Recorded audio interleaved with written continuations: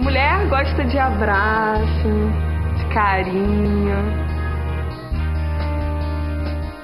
Mulher gosta de ficar bonita.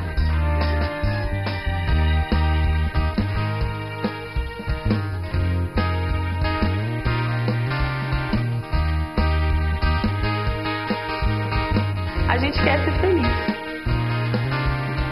Mulher quer ter o seu espaço.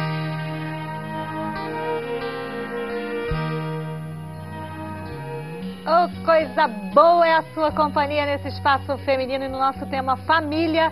Vai ser muito legal ficar pertinho com você pra gente papear, curtir aqui um artesanato tudo de bom. Seja muito bem-vinda. Eu sou Márcia Costa e com a gente a Andréia Carvalho, artesã, que vai fazer hoje pra gente uma pasta porta-documentos. Olha, o Super Bruno já está preparadíssimo para fazer um take aí das peças da Andréia. Andréia, você trabalha com papel, com todo tipo de, de encadernamento, encadernamento, Trabalho com enfim. encadernação e cartonagem, né? São peças feitas com papelão, a base de papelão roller, Essa com revestimento bo- de essa- tecido. Essa, eu vou até pegar aqui pra você de casa ver. Essa, olha só essa maleta que as nossas convidadas ficaram apaixonadas. Mas eu já vou logo dizendo que eu também. olha isso, chique! É Uma última, você vai então. Ah, tá bonito. Tá bonito, Muito né? bem feita e muito legal. Pra você. Eu, eu acho até que pode ser um item decorativo, né? Sim, a gente usa muito para decoração de festa ou de quarto, de ambiente. toda forrada. Olha o acabamento, gente. O acabamento tá assim de primeira qualidade. Jordan tá trazendo aqui essa Essa é a Baby. Muito a utilizada. Pepe. A gente usa muito lembrancinha de Letícia, festa. sua mala tá aqui, Letícia. a mala da Letícia. Ah, meu Deus. Daniela Azevedo, essa não é a mala da Letícia? Essa da Letícia, mas a grande podia ser minha, porque eu sou grande. Oh, gente, eu sabia que ia, sabia que ia aproveitar.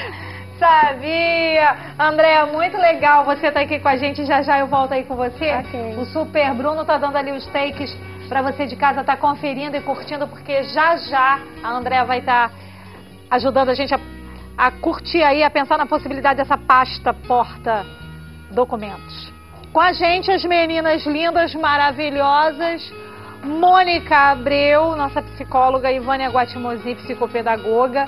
Quer dizer, meninas, hoje eu quero pensar com vocês e com, a- com o pessoal de casa sobre uma pauta dentro desse tema família, que é uma pauta muito legal e interessante. Mulheres que optaram, elas fizeram aquela opção. Elas acham isso muito legal, elas estão felizes com essa decisão de cuidar do lar e dos filhos. Legal, né? Muito bom. Mônica, obrigada por você estar aqui. Vânia, obrigada por você estar aqui. Sempre um prazer. Nossa. Essa, essa decisão, muitas vezes, é, Mônica, ela é vista assim com uma certa. um olhar meio que. Eu vou usar a palavra, mas talvez nem seja essa, não sei, mas um olhar meio que de demérito, né? Aquele olhar assim, como?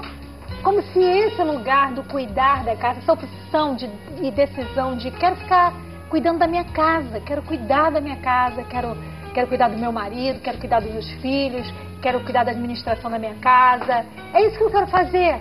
Como que se esse lugar fosse um lugar menor. Eu, eu acho que às vezes o olhar é um pouco esse para essa mulher. Mas ela que está decidida e convicta não pode ficar De jeito nenhum. Preocupada com isso. É por aí? É por aí, com certeza. Eu tive um tempo que eu trabalhei em escola e realmente você vê a mãe que se dedica aos filhos, que escolhe isso. As crianças têm um outro comportamento impressionante. Legal. Porque você vê que ela está ali dedicada, ela está com um olhar é, de amor, de limite para o filho, de carinho. E que uma criança que às vezes não tem a mãe, ele falta algumas coisas. E aí tem outros probleminhas. Eu acho que a mulher que assume isso, porque de qualquer forma a mulher é o esteio da casa, ela é aquele equilíbrio, de qualquer forma, trabalhando ou não, fora de casa. Mas você escolher estar em casa, eu acho que é lindo, assim. Você assumir, eu tenho uma casa, eu tenho uma família, que eu acho que é o bem maior que uma pessoa pode ter. Né? Essa opção, Vânia, ela é muito, assim, muitas vezes, é, ela, ela não é tomada. Porque a, essa mulher, ela, ela até quer essa decisão, ela quer essa opção, ela, ela, ela, é Ela que ela gostaria vezes, né? disso.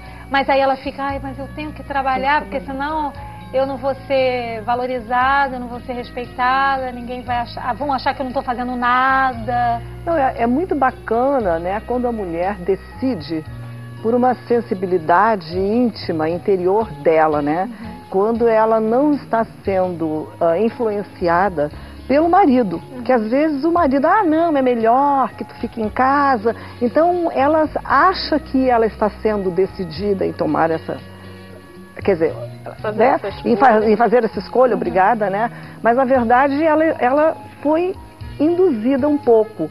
Então, às vezes, depois dessa decisão, ela se depara por uns momentos de, um- não vou dizer depressão logo, mas de, poxa, indecisão. Por que, que eu fui fazer isso? Eu gostaria de retomar. E é importante, assim, que ela se sinta à vontade para retomar né? E eu acho fantástico a mulher que toma essa decisão. Eu acho que ela é corajosa, eu acho que ela está enfrentando realmente como foi falado, né? Essa questão É porque essa opção que de repente ela pode ter tido de não, eu quero trabalhar fora, eu quero ah, eh, ter uma carreira, eu quero, enfim, essa decisão ela precisa de coragem. Mas a decisão de eu quero ficar em casa, eu faço a opção de ficar em casa porque eu quero, porque eu sou feliz optando por isso. É, Eu sou feliz optando por esse lugar de esposa, de mãe, de administradora da minha casa. Eu sou feliz ocupando. É também um lugar que precisa de coragem para ser. com certeza. E, Né? Os dois, né? e ela está trabalhando, né, Mônica? Com certeza. É um trabalho trabalho. tão digno quanto qualquer outro, né? Porque ela está lidando com, a- com aquilo que há de mais precioso, que é o teu lar, que é a tua família. É, é uma coisa muito natural lá fora, né? Na Europa, na Austrália, nos Estados Unidos, as mulheres, elas cuidam da casa. É. Elas cuidam das crianças, levam para a escola, pegam. Não tem terceiras pessoas para fazer isso, elas têm que dar conta disso. E elas são é, honradas por isso, É. valorizadas. Eu acho que o que acontece muito, às vezes a mulher brasileira ela fica muito em casa e ela esquece dela. Esse, esse lugar aqui de mulher que não pode ser esquecido. Ela se abandonar, deixar de cuidar dela, deixar de se amar, de fazer coisas que ela gosta, porque está em casa sendo sugada. Então acho que é meio que ela observar o andar das coisas, o ritmo que ela está levando. A forma como E ela aí que fica sendo. perigoso, ou seja, ela tem que ser feliz em casa, se ela é a opção dela, ela tem que ser feliz no trabalho, mas ela não pode esquecer dela. É porque ela é mulher, né? Mãe. Ela é uma mulher em primeiro lugar. Primeiro ela é uma lugar. pessoa. Aí Exatamente. sim, aí ela é esposa, mãe. Isso. E daí por diante tem esses papéis. Você está aí. percebendo como é legal a gente pensar sobre isso com você?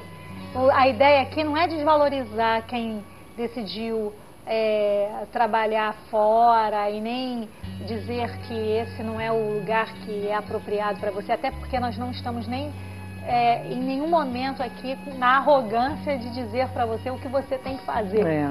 Aqui a nossa ideia é assim, pensar sobre aquelas mulheres que optaram, que fizeram a sua opção. Sou feliz e opto, decido cuidar da minha casa. A gente quer valorizar essas mulheres, a gente quer aqui é, honrá-las, sabe? É, tá aqui com elas e prestigiando e dizendo, a gente entende a tua escolha. E a gente quer pensar isso com você, dialogar sobre isso. Nem tirando o lugar de uma e de outra, desvalorizando um papel e outro, não é nada disso. A ideia aqui é pensar mesmo nesse lugar de opção que você fez. Bom, no programa de hoje a gente quer continuar orando com você e eu tenho aqui alguns pedidos de oração que a gente começou essa semana a, a fazer aqui um movimento de orar com você e por você. Orar com você porque você tem uma oração tão poderosa e ouvida por Deus, tanto quanto a- qualquer, quanto, quanto qualquer um de nós aqui. Nós somos ouvidos, você também. Então a gente ora com você e por você. A nossa oração não é melhor ela não é mais ouvida, não é nada disso. Sua oração também é ouvida. Mas a gente precisa estar junto nisso. E aí a gente está lado a lado contigo, ok? É, aqui eu não vou citar os nomes, porque não é, a sua fé não está baseada nisso, em o seu nome ser citado ou não. A sua fé está na certeza de que você tem um Deus que sabe todas as coisas. Então, é, eu quero pensar com você no texto de Jesus, quando lá no início da semana a gente é, pensou no texto de João. E ali Jesus disse: Olha, eu sou o caminho, eu sou a tua direção. Eu sou a tua direção, eu sou o único caminho. Não existe. É, às vezes a gente vai de um lado, vai para o outro, mas a única direção é Jesus. Eu sou a verdade, a verdade sobre Deus, ela está em Jesus. As pessoas inventam tantas coisas sobre Deus porque não se aproximam da palavra revelada de Deus para conhecer o próprio Deus. Aí supõem, tiram, tiram suposições, falam do que acham e muitas vezes as outras pessoas, para manipular você, contam com que você não saiba nada sobre Deus, para que o que elas estão dizendo de equivocado sobre Deus prevaleça. Jesus é a verdade sobre Deus, então ao invés de escutar qualquer coisa, vá à palavra dele e entenda quem meu Deus é. Está na palavra de Deus quem Deus é. Ele não é, ele não tem amor, ele é o próprio amor. Ele é a sua cura. E essa é a verdade sobre Deus. Jesus falou também que ele é a vida. E quando Jesus está colocando esse lugar como eu sou a sua vida, ele está dizendo assim: eu sou tudo o que você precisa. Eu sou suficiente para você. É tão legal quando a gente para para pensar que às vezes a gente tira o foco de coisas importantes e começa a ficar concentrado em coisas inúteis e perdendo tempo, se desgastando. É tão legal quando a gente acorda para ver que, peraí, Jesus é a minha vida.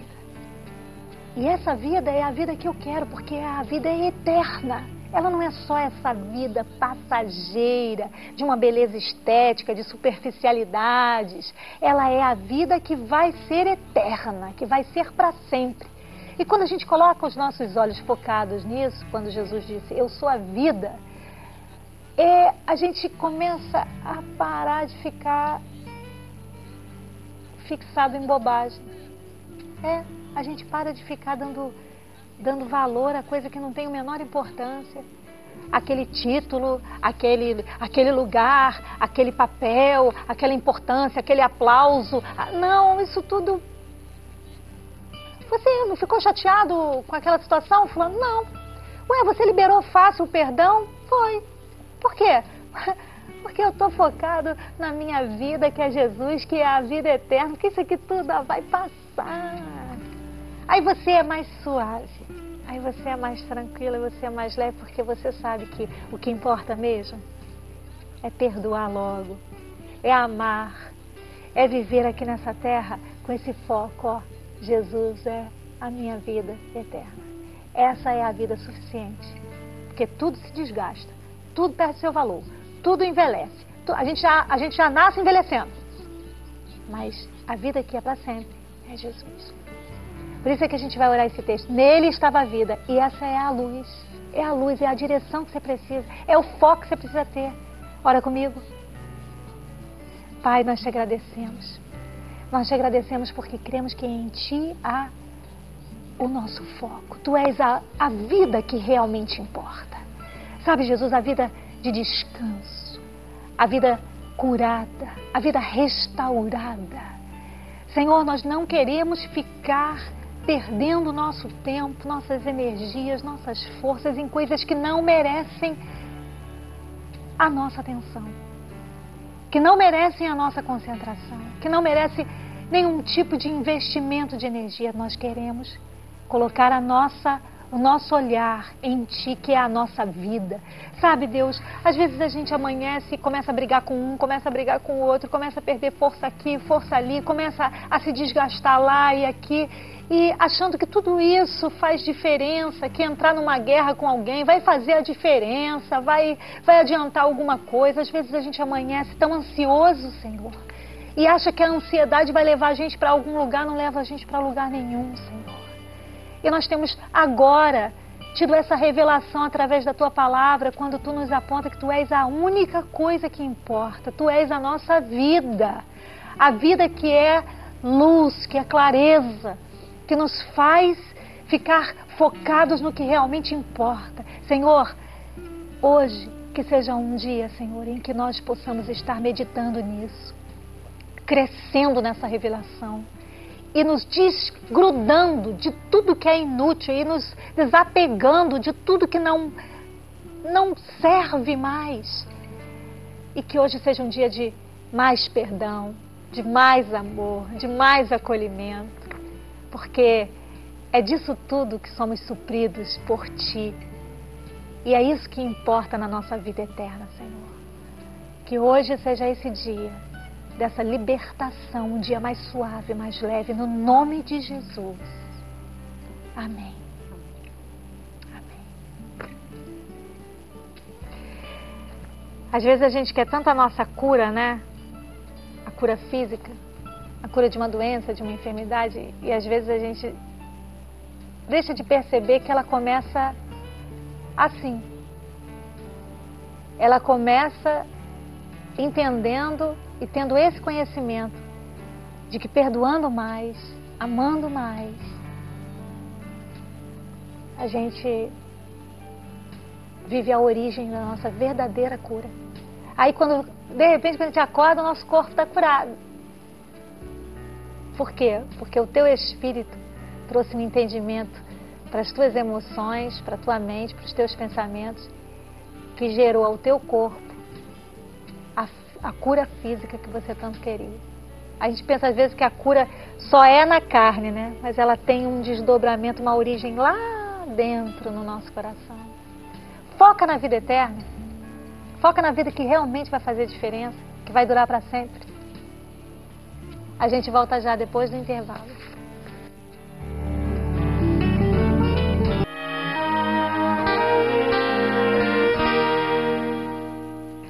Voltando com o nosso espaço feminino, nesse tema família tem um quadro bem interessante, Coisas de Mulher. Dá uma olhadinha.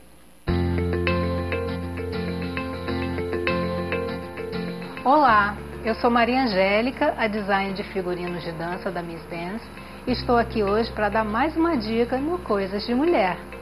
Hoje vamos falar de chuchu. Você já ouviu esse nome? Chuchu. Chuchu bandeja, chuchu romântico, Chuchu prato, chuchu pancake, a roupa típica da bailarina clássica.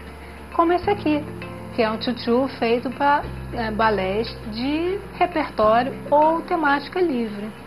Com essa saia bem armada que deixa à vista as pernas da bailarina para ela mostrar toda a sua técnica e destreza.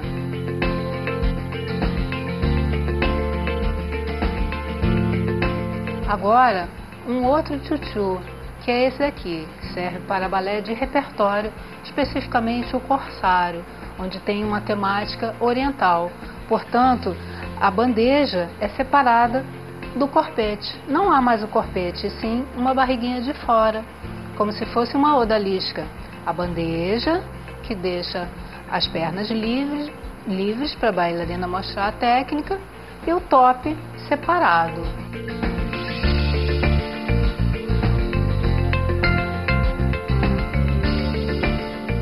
Para finalizar a nossa dica de hoje, temos aqui mais um chuchu, todo verde, que pode servir para Esmeralda, lá Esmeralda, do balé Dom Quixote. É um figurino muito rico, muito elaborado, todo matizado, ricamente bordado com cristais Swarovski e pedraria, todo cheio de detalhe também, o corpo é, espartilhado, em veludo, muito bonito.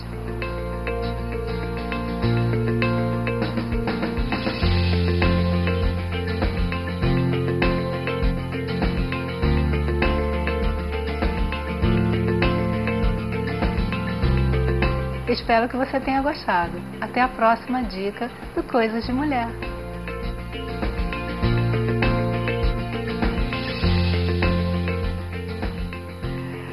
Parabéns aí a Maria Angélica por nos mostrar essas lindas peças. O tutu, né? Tutu.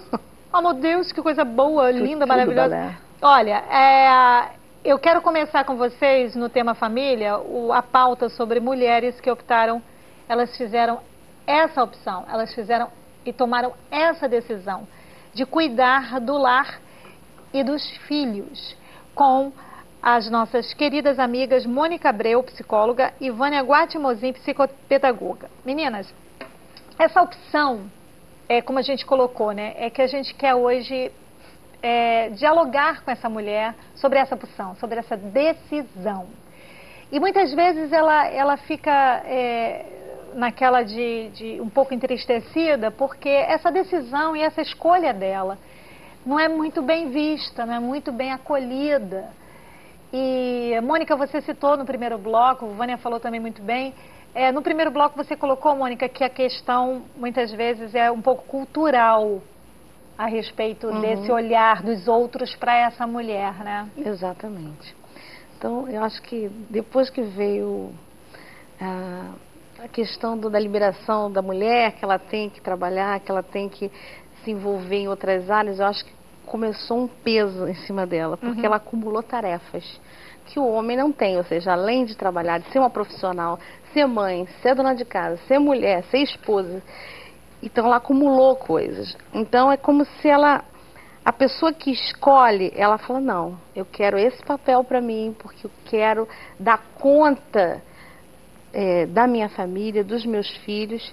Eu acho que é uma escolha que deve ser consciente, que deve ser respeitada e principalmente essa mulher tem que perceber o seguinte, ela não é uma coisa que tem que fazer isso, tem que fazer aquilo, ela é um ser humano Legal. sensível, é um ser humano completo e que ela tem que respeitar isso. Os filhos vão honrá-la se ela também se honrar, se amar, se valorizar, estar nesse lugar de mãe, de administradora do lar, de, de transmitir amor, sensibilidade. Eu acho que esse lugar não pode ser abandonado, não pode ser esquecido. Você está falando isso, eu estou pensando assim, é que ela é, ela é um pouco médica, ela Exato. é um pouco a, é engenheira, ela é um pouco técnica de, de alguma coisa, ou de futebol, ou de. Isso. Ela é, psicóloga, é, é psicóloga é ela é pedagoga, ela, ela tem várias profissões, né? Exatamente. Ali, né? Eu acho que a mulher ela tem. É esse, multi, né? É multi. multifacetada. Agora eu, eu vejo assim que, deve, que a gente deve colocar também a questão daquelas mulheres que optaram temporariamente, né? Elas vão ficar um tempo em casa com seus filhos e vão retornar ao trabalho. E é importante que aquelas mulheres que optaram por ficar em casa com seus filhos e querem uh, voltar ao trabalho, ao mercado de trabalho, que elas se mantenham atualizadas, para que depois também não sofra com essa volta, né? Então, assim, Sim. tem aquelas mulheres que decidiram definitivamente, tem aquelas que decidiram por um tempo. Uhum. E tem aquelas que os, até cinco anos elas vão trabalhar, depois que os filhos tiverem dois, três, cinco anos, elas vão largar o trabalho para se dedicarem a outra etapa dessa, desse pois crescimento. Pois é, mas essa, essa é, é, eu estava querendo pensar com você de casa, com uhum. vocês aqui, meninas, é exatamente essa que ela fez essa opção, ela não vai voltar, ela fez essa opção, ela, ela vai ficar ali.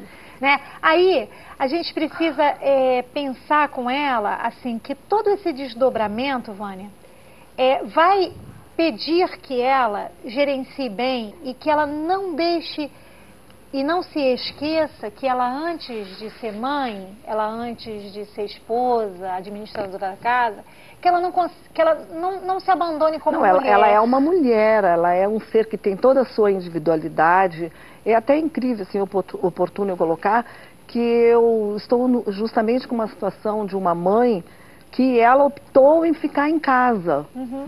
Só que ela agora, ela sente que ela está sufocando o seu filho. E ela está grávida de novo. Entendeu? Então, também tem essas questões que elas causam é, transtornos. Aí, por exemplo, a saída então, nem de sempre casa... ficar o dia inteiro, pois é, a qualidade a saída... do tempo é, é muito mas importante. Aí, assim, por exemplo, a saída de casa é, muitas vezes precisa ser, assim, não é, talvez a resposta não seja aquela que está logo em, em primeira mão. Talvez ela seja assim, é, ah, sair de casa e voltar para o mercado de trabalho, então essa seria a solução. Muita calma nessa hora. Se esse é o seu desejo, você optou por ficar realmente em casa, pense assim, ok, eu estou aqui muito é, ali acompanhando os meus filhos e estou com alguns receios e tudo, então, será que esse meu envolvimento tamanho, né? E tão preocupada e tão ali focada nos meus filhos que pode estar repercutindo num certo estrangulamento, né, num certa, numa certa a obsessão ali pela criança, enfim, pelo filho. Será que não é, então, o caso é, de eu perceber isso e tentar melhorar essa relação, buscando uma ajuda psicopedagógica, não, ela, ela, tá, ela está realmente buscando uma ajuda, porque onde está refletindo? Justamente na criança. Entendeu? E a criança já chegou falando. A criança e a mãe, a criança falou: Mamãe, não briga com meu pai hoje. Entendeu? Então tu já começa a sentir quanto essa mulher ela está pressionada. Porque, porque ela a gente, de repente se esqueceu porque, dela, né? Porque também, olha só, exatamente, porque Márcia não tem um, um caderninho, manual. não tem um manual, eu vou ficar em casa agora e tudo vai dar certo e vou ser muito feliz. Não. E nem dentro nem fora. Nem dentro nem fora. Eu acho que essa mulher não pode esquecer. Tem que haver o um equilíbrio. Dela. Ela tem que ler jornal, ela tem que ler revistas, ela tem que fazer alguma coisa, praticar, um, esporte. praticar um esporte, fazer alguma coisa que ela sinta prazer. Uhum. Porque ficar em casa só fazendo. Você pode estar no escritório, trabalhando no escritório, e fazendo aquela coisa mecânica e está insuportável, está tá horrível para você. Porque você não está dando vida, você não está com prazer. É, rotineiro, tá... né? Então, a tua vida, a tua rotina tem que ser algo prazeroso para você não sofrer nem fazer os outros sofrerem à sua volta. Você tem que tentar levar a vida de uma melhor forma, estando em casa, estando no trabalho, para você ser feliz. É que a gente muitas vezes, acho tão engraçado, é, o ser humano é bem, bem complexo, né? Mas a gente, Muito. muitas vezes a gente acha que o nosso grande problema está do lado de fora. É, é? o problema está dentro da gente. Mas muitas vezes a gente problema... diz assim, ah, o meu problema é o meu trabalho. Aí muda de trabalho e continua com o problema. É a insatisfação ah, pessoal, o né? meu problema está com essa casa. Aí muda para um apartamento, continua com problema. Ah, o meu problema está nessa cidade. Aí muda de cidade, continua com problema. É. Quer dizer, é, é, muitas vezes a gente precisa repensar a vida, é, né? Ressignificar a vida. Eu acho que uma organização, né? A gente precisa sempre estar organizada, ou pensar numa organização. Uh, se eu estou em casa, de que forma eu vou organizar os meus dias, as minhas semanas, para que elas sejam prazerosas para mim também. Porque às vezes eu só quero fazer o prazer do outro. Perfeito. E o meu prazer, onde é que ele fica, onde é que ele está? Então eu acho que esse é o momento de chamar a atenção dessas mulheres que elas pensem no seu prazer. E esse prazer é de como mulher no dia a dia, nas suas coisas que ela precisa fazer, para que ela se sinta mais feliz? A minha avó foi uma mulher que ela fez essa opção. Minha mãe também, de é, ficar em casa, criar os filhos. E a minha avó, ela gostava muito de música, de leitura. Uma Esses né? prazeres, né? assim, ela não abria mão. Então. De leitura, de, de, de ouvir música. Ela gostava muito de música clássica e tudo. Gostava muito de ópera, de dança, de balé. E ela apreciava isso. E ela dizia assim para mim, quando eu era criança, que eu ia passar dias com ela, dizia assim para mim, é, fecha os olhos, aprecia. Uhum. Aí eu ficava ali com ela, aí ela dizia assim, para viver esse prazer você precisa de ter tempo. É verdade. eu estou aqui, claro, falando de uma questão de uma pessoa, de uma decisão de uma pessoa. E isso é uma coisa linda, não significa. Ela falou tempo, ela não falou nem muito tempo. Tu te dedicar algum tempo para algum prazer teu, né? Porque eu acho que isso é fundamental para qualquer pessoa em qualquer circunstância. Uma, uma pessoa chegou comigo e ela disse que ela gosta muito de ler. E ela também optou por ficar em casa. Eu cuidar dos seus filhos e tudo. Então, oportunidades que ela tem, ela, ela lê bastante. E ela disse assim, Mas ela teve que organizar a sua vida para poder criar essa possibilidade Claro, para ela. essa rotina, Porque senão ela não é. teria esse tempo para Tem ler. que ter disciplina. Aí ela disse assim, ela, ela falando que conversando com algumas pessoas sobre alguns lugares do mundo, e aí todo mundo falou, "Ué, você já foi lá? Ela falou, não, eu Não. li sobre. Aí, eu, "Mas, nossa, você fala com uma intimidade que parece que você foi lá. Ela falou, eu li sobre. Então, assim, engraçado como é que a gente, quando a gente se dá o direito de ter algumas, algumas coisas pra gente, Prazerosa. É prazerosa. não é? Parece até que a nossa Ela realidade viaja, muda. né? Ela A viaja, realidade né? muda, exatamente. Então, eu acho, por isso que é importante a gente saber o que, que é bom pra gente. Não é o outro dizer, ah, você vai fazer isso, você tem que fazer aquilo, agora você vai cuidar da casa, porque agora eu tô ganhando bem, você não precisa trabalhar. Exatamente. Mas é. não é o que você tem que estar realizado com isso. Eu quero porque isso vai ser bom. Se eu estou em casa, eu vou fazer um esporte, eu vou fazer uma pintura que eu gosto, eu vou cuidar de coisas que me abrem a mente, a minha sensibilidade, que vai crescer a minha vida, que eu vou atingir outras pessoas. Algo que a gente não pode achar que ficar dentro de casa é uma coisa, como a gente você falou, menor. Não é tem que ser uma coisa boa. Aonde eu for, tem que ser luz, tem que ser legal, É. tem que ser prazeroso, que isso vai refletir nos, nos nossos atos, com as pessoas que estão perto da gente. Então, tem que ser inteiro. Não pode ser pela Inteiro é metade. legal. É que eu, e que Tem eu que não ser. Desculpa. Pode falar, não, tem que ser não, e total. quando eu falar sobre isso, eu não me sinta inferiorizada. Exato. Né? Porque tem mulheres que se sentem inferiorizadas diante de outras quando elas vão falar, não, eu, eu, né, eu Mas só fico em casa. acontece então ela não, porque- ela não está inteira nessa É, situação. exato. Agora, e eu tenho- a gente conheço- compara. A gente É. quer comparar a nossa vida com a vida do Mas outro. é porque às vezes até o próprio marido não valoriza esse, esse ato dessa mulher, né? A atitude da mulher de querer estar em casa. E ela precisa comunicar isso, eles precisam ter, conversar Com- sobre com isso. certeza. né? E dialogar sobre isso. É, a Tereza, a minha sobrinha, filha do pastor Samuel com a Rebeca, ela, me lembro disso, ela, muito, muito garotinha, a Rebeca que contou isso pra gente, muito menina, as garotas com ela conversando numa roda, e uma dizia, ah, eu quero ser médica, a outra dizia, ah, eu quero ser advogada, e você, Tereza, o que, que você quer ser? Ela, mãe. Já era uma opção dela. Ela é uma jornalista, É. formada e tudo, mas ela, ela, ela já era uma opção dela desde de, de então. Uhum. As minhas irmãs fizeram a mesma opção da minha mãe e da minha avó. A Denise, e a Denise trabalhou fora muito tempo, mas quando pôde, Retornou. realmente ficou em casa. A Eliane não, a Eliane sempre foi decidida mesmo por isso. E eu já encontrei a minha felicidade, o meu prazer de, um outro, de uma outra forma. Forma. outra forma. Então, é essa nós, liberdade. né? Porque nós né? trabalhamos, né? Exato. Essa liberdade que a É. gente tem de, de, De entender poder. é o que eu gosto. Agora, Márcia, Importante. é muito importante a gente só colocar assim, porque às vezes tem mulheres que gostariam de ficar em casa, mas pela estrutura financeira familiar, Claro, o combinado claro. é: eu preciso trabalhar fora para poder Completar a completar a renda. Então a É, gente nós vê que tem. né? nós já conversamos sobre você que precisa desse lugar de completar a renda. Nós já conversamos sobre essas mulheres que decidem até, inclusive, conciliar trabalho e Com a família, casa. né? Fizemos programas sobre É. isso. Sim. É que hoje, a Hoje gente está se isso, dedicando é. a esse lugar. Nós falamos mulheres que conseguem conciliar a casa, os E o desafios trabalho. o do trabalho, mulheres que realmente têm que investir na sua vida profissional porque precisam dessa renda.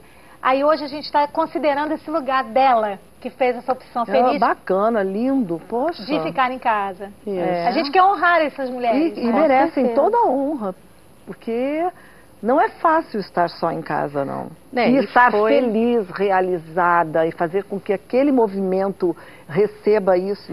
E foi o primeiro papel da mulher, vamos É. dizer assim, né? Com De, de ter os seus filhos, de cuidar desses meninos, de dar a ele substância e estrutura emocional para o crescimento, para a felicidade. Então, a mulher tem, é educadora, né? A mulher é, é- é sensível, a mulher é criativa.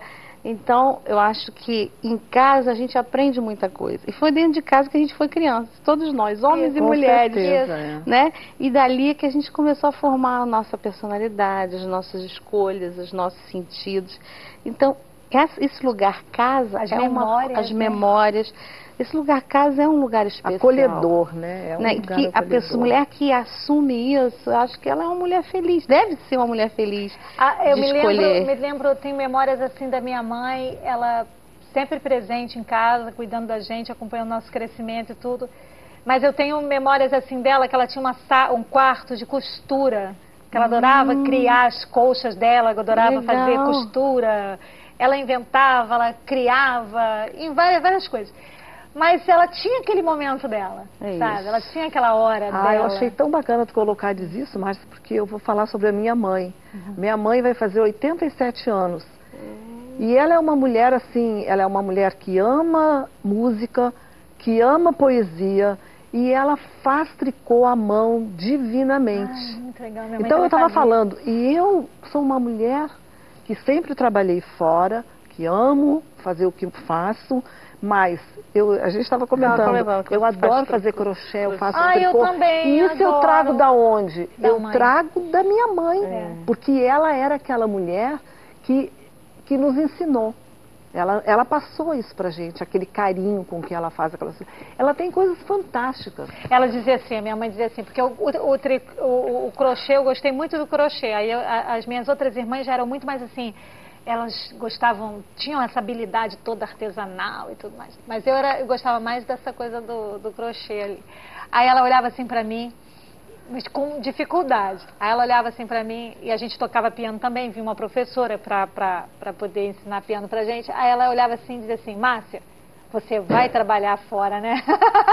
Quem falava? A minha mãe. A tua mãe? É, porque as outras já tinham uma habilidade maior. Mas isso não, ela não me desconsiderava por isso, não, Claro. sabe? Assim, nós éramos Era o teu prestigiadas. perfil, né? Da mesma maneira. Mas a forma como ela considerava o perfil de cada uma, Aham. ela, ela- dizia assim, a, Inha vai, vai cuidar bem disso, a Denise vai cuidar bem disso, e você vai trabalhar fora, não vai? porque ela via o meu jeito, assim, de gostar, Agora, enfim, de algumas coisas. Interessante, na minha casa também, todos nós estudamos música.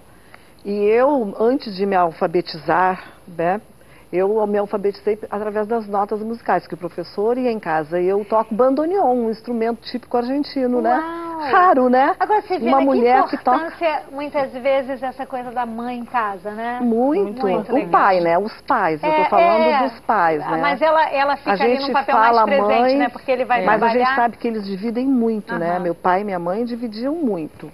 Ó, tem o quadro Curta na Tela, que é uma sugestão para você que está em casa e que precisa dar uma folguinha para você. Então curta.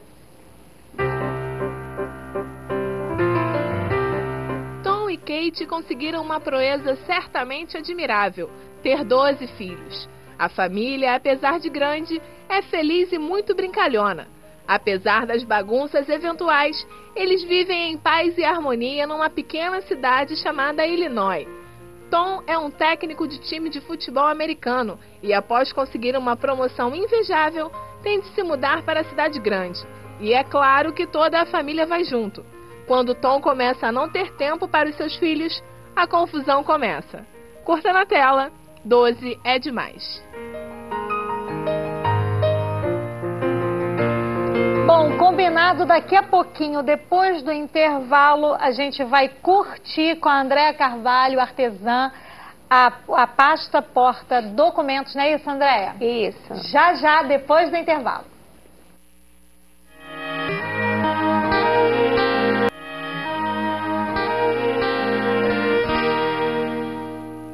Então é isso. Vamos, meninas, já já eu volto aí com vocês. Nós vamos aqui com a Andréia para nossa pasta Porta Documentos. Andréia, que bom que você está aqui, tá? Obrigada. Os contatos da Andréia, assim como das nossas convidadas, você vai acompanhar no vídeo, ok? Vamos lá, Andréia. Então, esse aqui é o nosso projeto. Que o, o, o Bruno ele vai mostrar ali, o Super. Bruno vai mostrar. Essa pasta, tá, gente? Aqui? Isso, aqui a gente prende, né, papel, Aham. dá para carregar os documentos aqui também. nós vamos começar fazendo a emenda da capa, tá? Emendando uma capa na outra. Como é que a gente faz? A gente vai pegar as duas partes de papelão cinza e vamos emendar com um pedaço de papel branco, pode ser uma cartolina ou um papel craft. Aqui eu já trouxe coladinho, porque é bem simples. É só colar um, é, uma das partes do papelão no papel, no papel e utilizando essa régua de 2 centímetros, a gente une a outra parte, ok? Uhum. Tá? Após feita a colagem, nós vamos começar a encapar o tecido. Aqui eu já trouxe uma parte coladinha, eu vou demonstrar para vocês aqui como é que faz. Essa parte onde tem menos papel é onde a gente vai começar a colagem. A gente utiliza cola branca, uma cola de boa qualidade, não pode ser uma cola escolar, porque senão é, o trabalho, o trabalho não fica vai ficar bom. bom, né? De qualidade. Isso. Eu gosto de usar sempre cola branca extra. Eu vou aplicando a cola com um rolinho de espuma, tá? Nós vamos espalhar por todo. Espalha mais, né? Espalha Tem, bem é. melhor, né? Sim, é melhor que o. A gente controla mais a quantidade da cola do que com um pincel.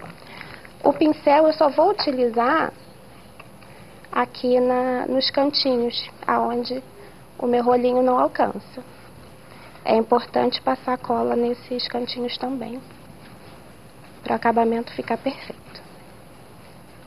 A gente tem que ter cuidado com a quantidade de cola, porque senão a cola pode vazar o nosso tecido e manchar o tecido, ok? A primeira coisa que nós vamos fazer é, com a mão, alisar todo o tecido. E utilizando a espátula de silicone, após alisar com a mão, a gente dá o acabamento aqui.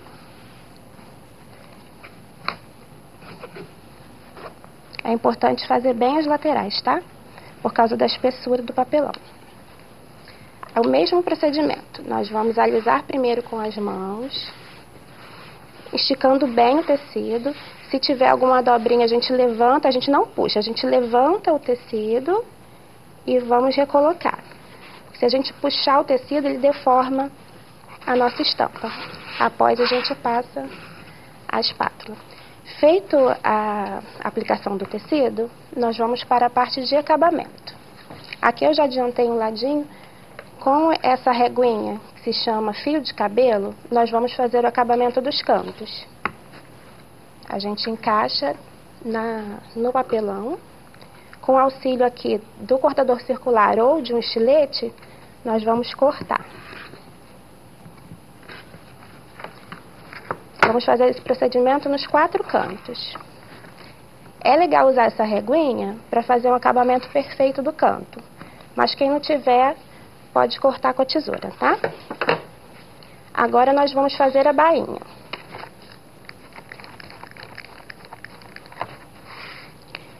Eu gosto de passar a cola na, no papelão, porque se eu passo no tecido e eu passar muita cola, acaba manchando, tá? Eu só vou passar no, no tecido aqui no cantinho, ó. É importante colar também esse canto, para o biquinho ficar bem colado. E agora, novamente, com o auxílio da espátula, a gente vai trazer a bainha. Começando pelo meio, o acabamento vai ficar melhor. Aqui, arrancou.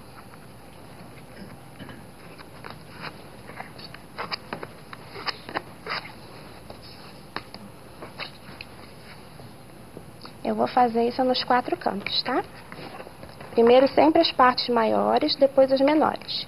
Isso é por uma questão de estética. Senão vai ficar cada bico de um, de um lado, não fica tão, tão legal.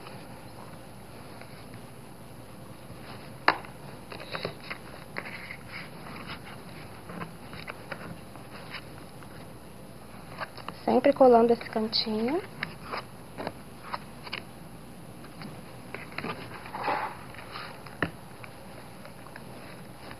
Colocar mais um pouquinho de cola.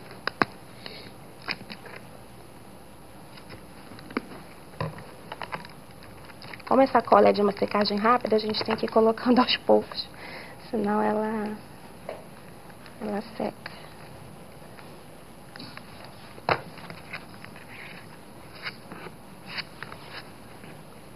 Cuidado sempre quando for trazer a espátula, para verificar se ela não está suja. Porque às vezes quando tem sobra de cola, tá vendo? A gente acaba manchando o nosso trabalho.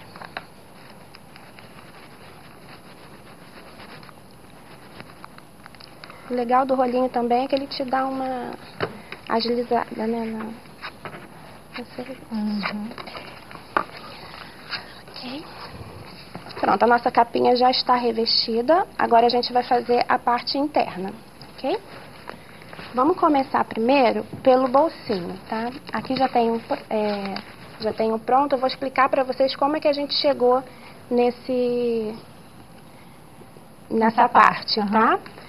Nós vamos pegar um pedaço de, papelão, de papel cartão é, meio centímetro menor do que as capas, ok? E vamos revestir com tecido da mesma forma que a gente fez na capa. Sendo que aqui, ó, vocês podem notar que não tem tecido. Eu vou deixar sobra de tecido só em três partes, ok? Certo. E essa, E essa aqui é a parte do bolso. Ah. Parte do bolso, eu gosto de deixar um pedaço maior de tecido, porque... Pra, Por do por causa do acabamento, acabamento, né? né? Pra não aparecer aqui.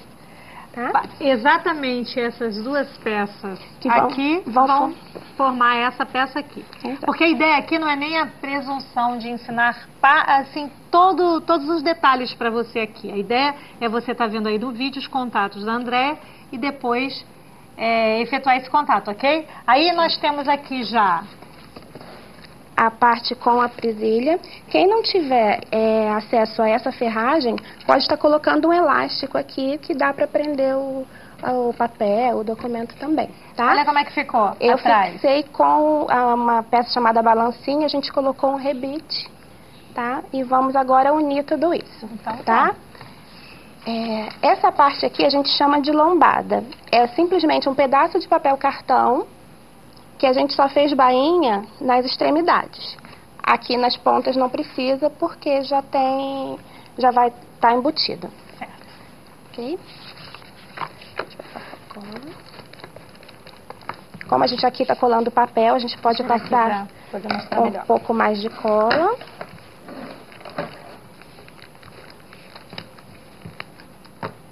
Eu gosto de falar para as alunas que a regra é, quando está colando tecido, pouca cola. Quando a gente está colando papel, a gente pode colar um passar um pouquinho mais de cola. Então, esse aqui a gente vai colar no meio, ó. Tentando deixar a mesma quantidade de, de sobra nas duas extremidades. Com o auxílio da espátula, a gente vai fixar esse papel. É importante colar esse miolinho aqui. Levanta um pouco, mas É. tem medo, né? Isso, primeiro a gente vai forçar bem, depois que isso aqui estiver bem coladinho, aí a gente abaixa, tá? Porque ele tem que, faz, tem que retrair aqui na coifa.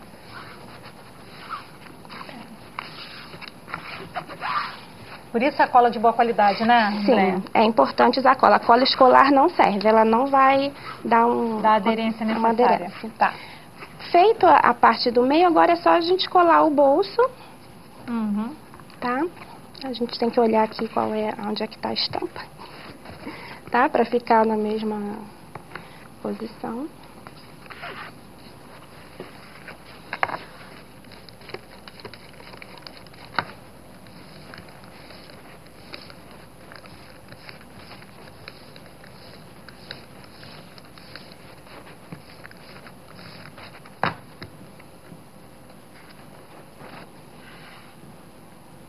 Exatamente, você dá uma olhada aqui e vê que esse acabamento foi feito para dar essa é, esse toque, né, de, Sim. de Esse meio centímetro meio que a gente que deixa, relevo, né? a gente deixa até para proteger a peça. A capa é sempre um pouquinho maior para poder dar esse acabamento. depois que, que terminar, tem que esperar um tempinho, né? Então, a gente, depois que a gente aplica a cola, a gente vai colocar fita crepe Ah. em toda a volta, porque o papel, papel cartão ele fica querendo levantar. Certo. Então, o ideal é a gente aplicar a fita crepe e deixar um- umas duas horas com o peso em cima. Legal. Né? Então, bota uns livros, coloca o que tiver em casa disponível. A gente Depois vai fazer tira. isso, sim, aqui só para realmente colar, tá? Mas é para botar em toda a peça, ok? Para você que está fazendo aniversário hoje, está com a gente, felicidades. No vídeo, o seu presente. Nele, em Jesus, estava a vida e está a vida. Ele é a nossa vida. E essa vida é a luz de todos nós. Felicidades. João capítulo 1, versículo 4. Beleza. Ó, agora a gente vai terminar, que é o procedimento de colar. Não é isso, Isso. Andréia? A gente, antes de colar essa parte, a gente vai botar aqui um elástico, Tá. tá? Para poder fechar a peça. Agora a gente vai precisar, olha aí, o elástico colado, que é para fazer aqui, Bruno, mostra aqui, Super Bruno, essa, esse, exatamente essa segurança aqui da pasta, ó. Isso. Você pode estar utilizando fita e fica o que a sua imaginação quiser. Aqui no A caso, pasta gente, concluída fica dessa forma. Nessa imagem a gente vai para o intervalo e volta já.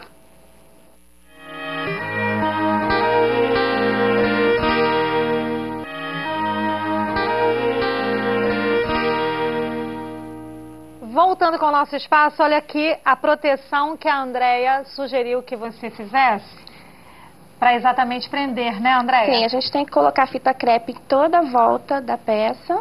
E E, aí, após duas apoia. horas a gente retira e Legal. coloca pezinho em cima. Enquanto Ok? o Super Bruno mostra as peças da Andrea, a gente vai se despedindo e sempre lembrando que os contatos dos nossos convidados você acompanhou durante a entrevista, durante o artesanato.